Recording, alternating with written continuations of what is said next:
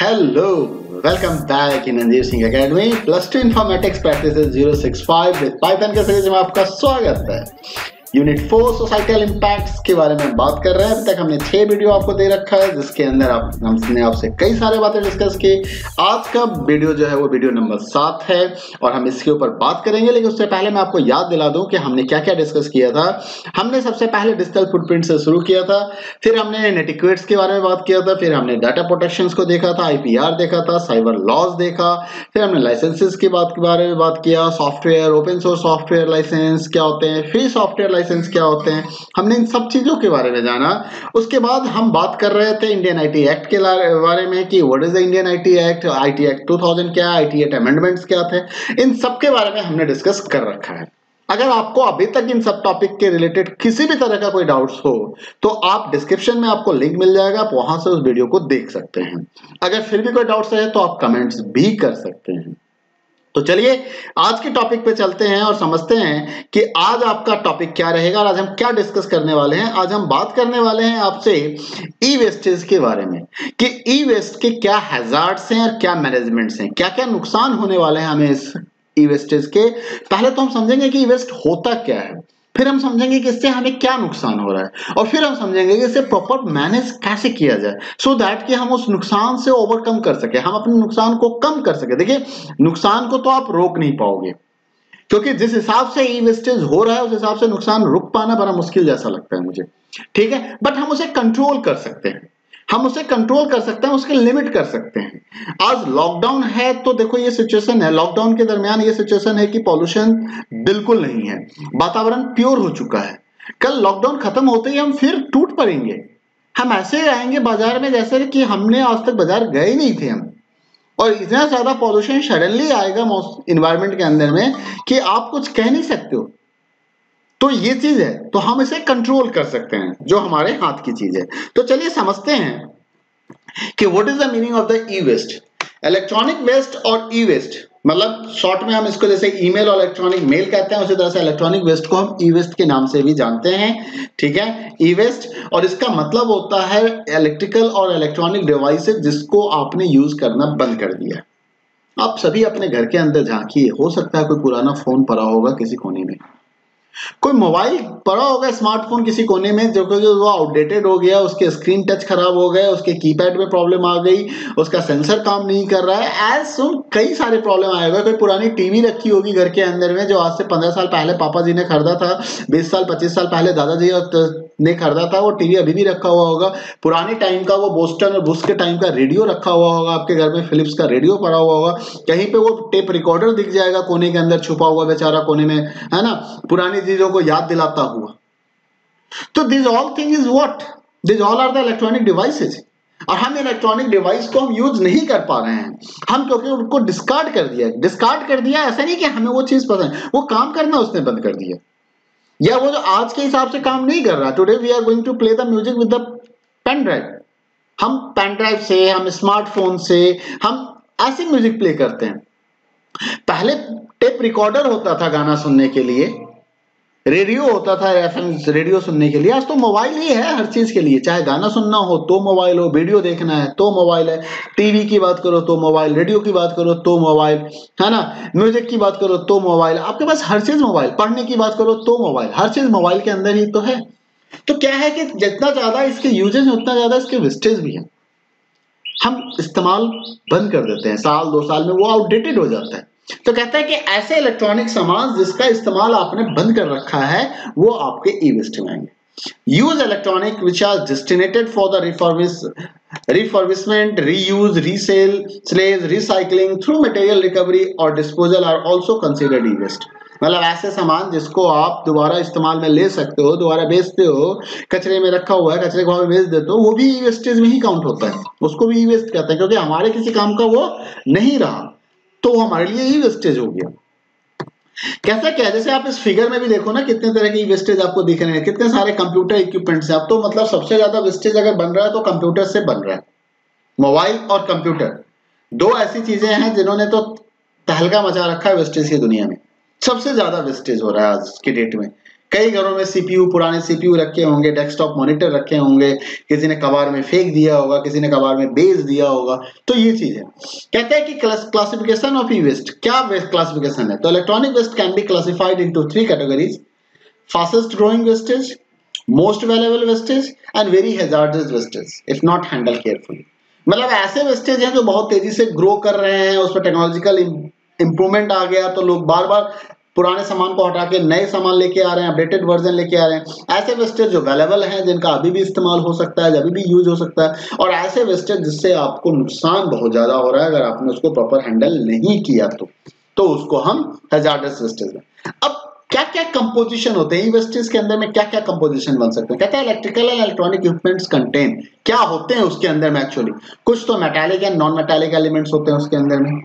कुछ प्लास्टिक के होते हैं, कुछ अलॉयज एंड कंपाउंड्स होते हैं उसके अंदर में, जैसे कॉपर है एल्युमिनियम है गोल्ड है सिल्वर है प्लेटिनम है निकल है टीन है लीड है आयरन है सल्फ़र है फॉस्फोरस है आर्सेनिक है तो कुछ ऐसे सामान भी मिलेंगे आपको उसके अंदर। तो ये सारे उसके अंदर पाए जाते हैं ई के, जो भी आपके ई वेस्टेज है उसके अंदर में यही सारे सामान होते हैं। ठीक है? अब इसको कैटेगराइज किया गया टाइप्स ऑफ़ वेस्ट में। तो गवर्नमेंट ऑफ़ इंडिया की बात करें, हम इंडियन गवर्नमेंट ने इसको कैटेगराइज किया सेवरल कैटेगरीज में। देखो कैसे कैटेगराइज किया गया? एक तो लार्ज हाउस होल्ड अप्लायंसेज जैसे कूलिंग और फ्रीजिंग अप्लायंसेज कूलर और वॉशिंग कूलर और आपका फ्रिज और एसी ये सारे आ जाएँगे। Small household appliances IT equipments जिसमें आपका मॉनिटर कंप्यूटर ये सारे आ जाएँगे। कंज्यूमर्स इलेक्ट्रॉनिक्स इंक्लूडिंग टीवीज आ जाएँगे।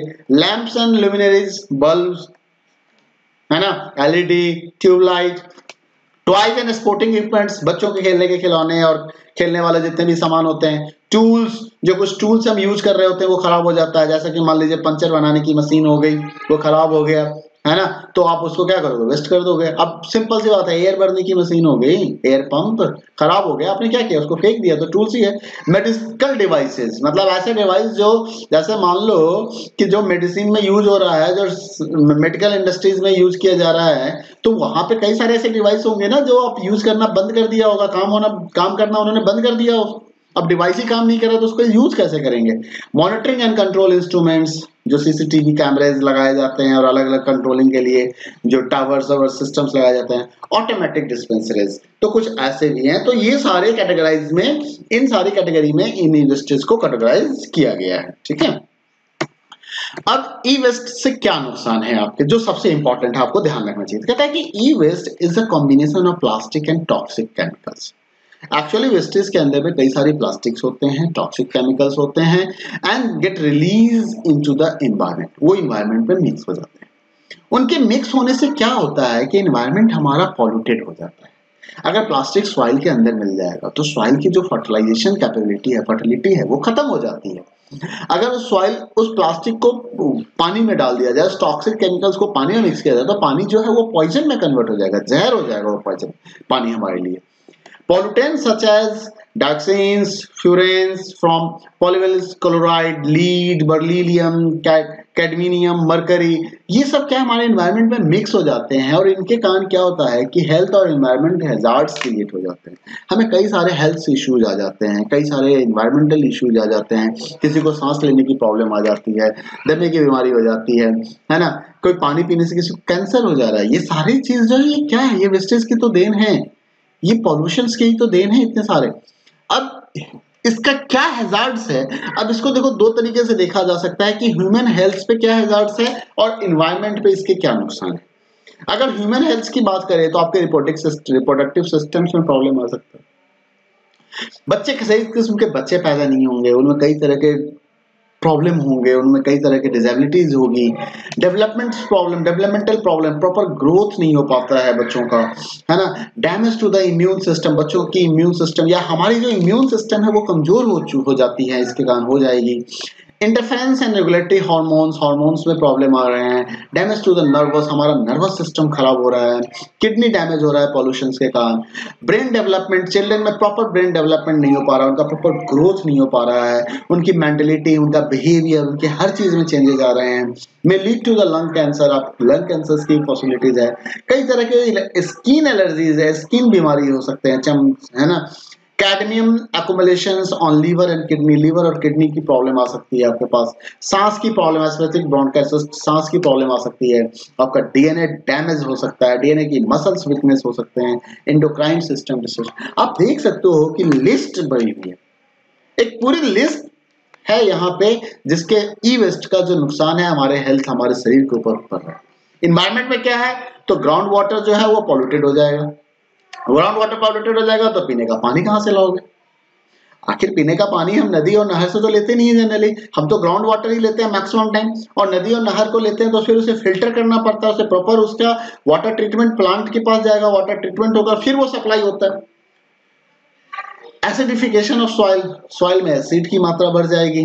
अब सॉइल में एसिड की मात्रा बढ़ गई तो फर्टिलिटी पे इफ़ेक्ट आएगा। अगर फर्टिलिटी हो मतलब कुछ फर्टाइल हो भी गया, कुछ क्रॉप डेवलप भी हो गए तो फिर वो क्रॉप का जो फूड्स होंगे, जो हम खाएँगे, फिर हमें वहाँ नुकसान पहुँचने वाला है। वो हमारे पेट के अंदर जाएगा हमें नुकसान। हो एयर में पॉल्यूशन आएगा, ये तो कहने की ज़रूरत ही नहीं है।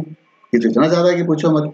And e wasters accounts for the 40% of lead and 75% of heavy metals found in landfills और ज़मीन को फिल कर दे रहा है ना।